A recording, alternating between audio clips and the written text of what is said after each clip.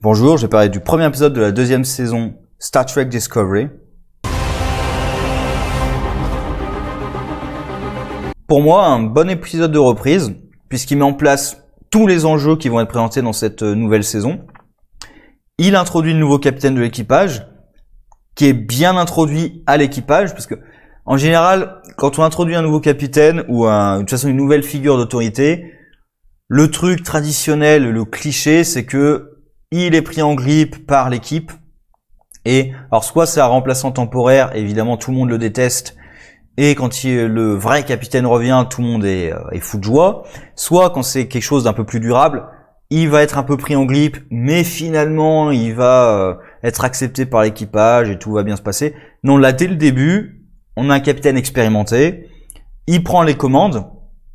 D'ailleurs même là, dès le début, d'ailleurs il s'excuse un peu de prendre les commandes de façon aussi euh, cavalière, mais voilà, c'est un peu forcé par le fait que son propre vaisseau soit soit défectueux. Là, je, je sais plus exactement ce qui leur est arrivé, mais bref, le vaisseau euh, n'est pas en état. Du coup, il est un peu obligé de faire ça et c'est un peu à la dernière minute, donc il s'en excuse un petit peu. Et face à l'équipage, voilà, il se présente calmement euh, et il écoute ce qu'ils ont à dire. Il est pas, voilà, c'est pas je sais tout, j'arrive, je prends les commandes, obéissez-moi. Il est pas débile, c'est un capitaine qui a de l'expérience. Pike. Donc euh, chronologiquement, ça doit se passer donc forcément avant que Kirk ne prenne le contrôle du vaisseau. Même peut-être même avant que Kirk euh, ne soit membre de l'Enterprise. Je sais pas s'il était membre de ce vaisseau-là avant d'en devenir capitaine. Je je pense pas, mais je sais plus honnêtement. Moi, la seule vraie série Star Trek que j'ai suivie, c'était Next Generation. Donc, la série originelle, je connais pas trop. J'ai regardé les films Star Trek, nouveaux et anciens. Ma connaissance vient surtout de là. Donc, je me souviens plus si Kirk était capitaine, était membre de l'équipage avant d'être capitaine. Bref.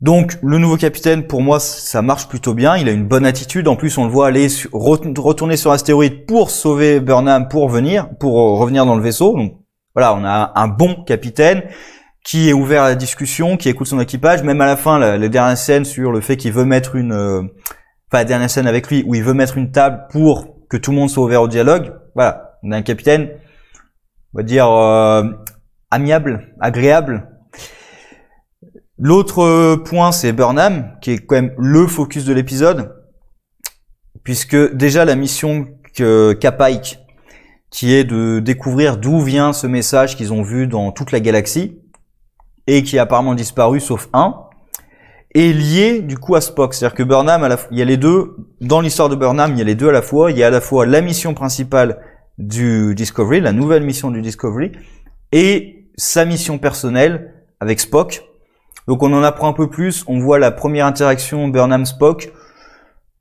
qui était, on va dire, sympathique. Hein. Voilà, on va dire que Spock, il l'a pas tout à fait adopté tout de suite, hein, puisqu'elle lui, lui, quand même, il lui claque la porte à la gueule. Bon, mais d'après elle, c'est Spock se serait euh, approché d'elle et il y aurait peut-être une chance de quelque chose. Et apparemment, elle dit que c'est de sa faute. Alors, voir précisément ce que ça veut dire. Euh, avec le, père adoptif qui, euh, en même temps c'est un vulcain qui est intelligent, qui ne la brusque pas, mais dit clairement voilà, je sais que tu ne me dis pas tout, mais voilà, je te force pas la main, mais sache que ça m'intéresse et quand tu seras prête à le dire, je serai là. Ouais, il y a des relations intelligentes entre les personnages. Voilà, ils sont pas, ils sont pas débiles. Hein, ils vont pas, comment dire, ils vont pas camper sur leur position et tout. Ils sont ouverts au dialogue. Ça, c'est quelque chose que j'aime bien c'est pas des têtes de con, quoi. C'est un peu ça l'idée. Donc il y a à la fois les deux choses, puisqu'on voit à la toute fin que l'histoire de Spock va être liée à la quête principale du Discovery. Donc en même temps, en suivant la quête du Discovery, elle va espérer retrouver Spock et essayer de nouer une relation euh, bah, de frère et sœur avec les deux, adoptif certes, mais frère et sœur tout de même. Donc on verra ça. Ça peut être intéressant. Il y a un petit peu de Lily Stamets très peu avec Lily qui apprend que Stamets veut partir pour des raisons compréhensibles. Hein, euh, tout le vaisseau lui rappelle euh, l'amant qu'il a perdu. Donc c'est un peu compréhensible qu'il n'ait pas forcément envie de rester sur le vaisseau. Bon. Et Lily, évidemment, qui est pas très contente parce que elle, y tient Stamets, elle a envie de le garder avec elle. Elle essaie un peu de le, rattraper par euh, son intérêt scientifique. Et là, elle découvre un autre intérêt scientifique qui est lié encore à la quête principale du Discovery, qui est apparemment une nouvelle source d'énergie qui, qui serait révolutionnaire parce qu'elle a même pas pu être téléportée avec Burnham. Donc c'est une source d'énergie révolutionnaire. Et donc ils sont à la recherche de ça. Ils ont capturé un astéroïde pour en découvrir plus, qui est lié au signal qu'ils cherchent.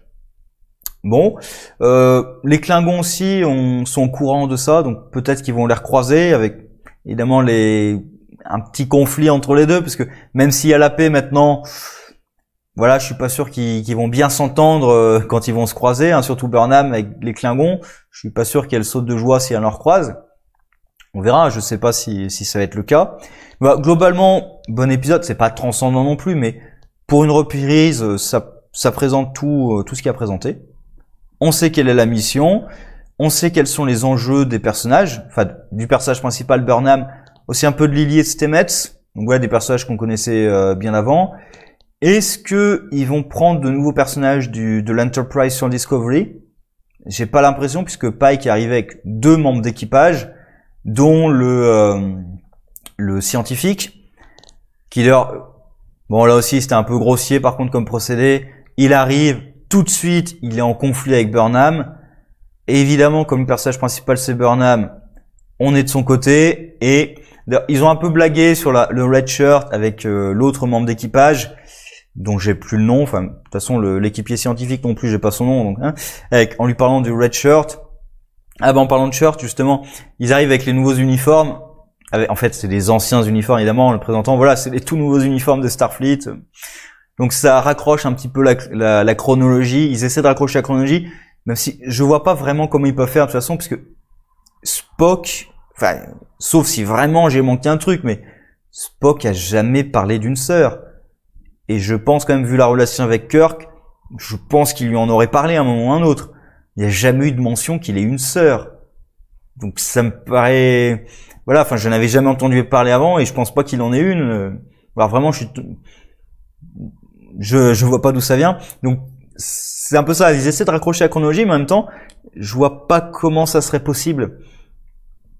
Mais bon, hein, on, verra exactement où ça mène.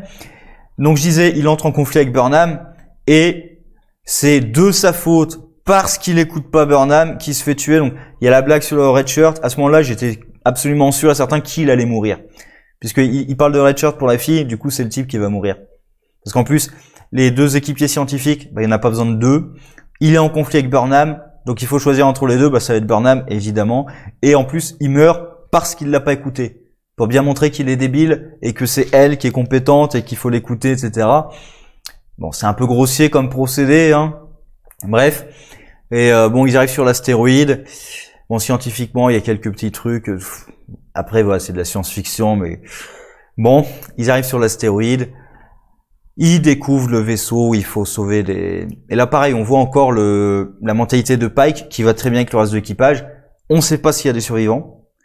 On va risquer nos vies pour y aller, mais juste pour la toute petite minuscule chance qu'il y ait au moins un survivant, on va y aller quand même. Bon.